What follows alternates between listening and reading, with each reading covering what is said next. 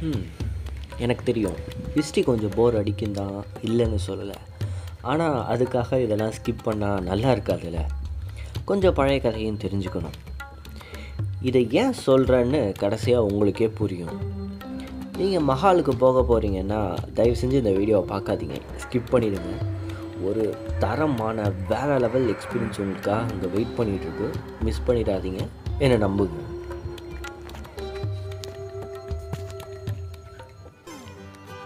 நான் மதன் ஏதாச்சும் புதுசாக தெரிஞ்சுக்கிறது புது இடத்துக்கு போகிறது புதுசு புதுசாக சாப்பிட்றது இதெல்லாம் பிடிக்கும். அது எல்லாத்தையும் வீடியோ எடுத்துகிட்டு அப்படியே யூடியூப்பில் போட்டு ஜாலியாக சீன் காட்டுவேன். உங்களுக்கும் இந்த மாதிரி சாப்பிட்றது ஊர் சுற்றுறது அதான் நான் பண்ணுறதெல்லாம் பிடிக்கும் அப்படின்னு நினச்சிங்கன்னா சப்ஸ்கிரைப் பண்ணிக்கோங்க.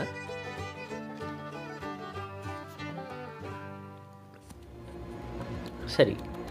இப்போ நீங்கள் பார்க்குறது வெறும் சொச்சோன்னு சொன்னால் உங்களால் நம்ப முடியுமா?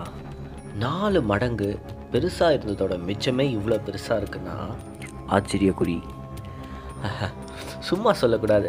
அந்த காலத்தில் ராஜாலாம் செம்மையாக தான் வாழ்ந்துருக்காங்க. அஞ்சு லட்சத்தி ஐம்பத்தி நாலாயிரம் ஸ்கொயர் ஃபீட் டோட்டல் ஏரியா. அதில் நாற்பதாயிரம் ஸ்கொயர் ஃபீட் கோட்டியாடு மட்டுமே.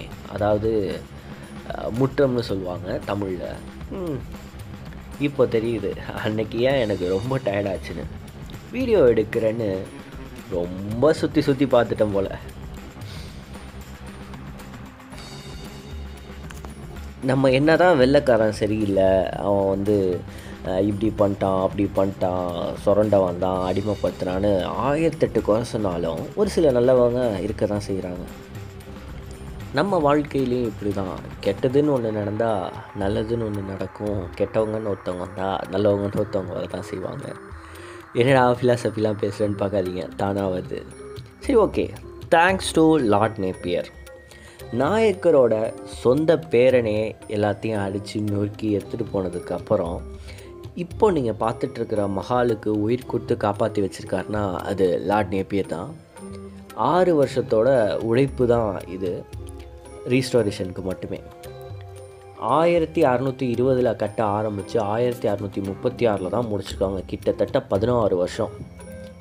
இப்போ தான் பெயிண்டிங் ஷைனிங் லேமினேஷன் பட்டி டிங்கரிங்னு என்னென்னமோ சொல்கிறாங்க ஆனால் அப்போ வெறும் சுண்ணாம்பையும் முட்டையோட வெள்ளைக்கருவை மட்டுமே வச்சு ஸ்மூத்தாகவும் கிளாஸி ஃபினிஷ் கொடுக்கறதுக்காக என்னென்னமோ வித்தை காட்டியிருக்காங்க. இதோட டிசைன் ஆர்கிடெக்சர் எல்லாமே டிராவிடியன் அண்ட் ராஜஸ்தானி ஸ்டைலில் இருக்குமா? இப்படி கலந்து கலந்து கட்டுறதுக்கு பேர் வந்து ஃப்யூஷன்னு சொல்கிறாங்க ஞாபகம் வச்சுக்கோங்க யூஸ் ஆகும்.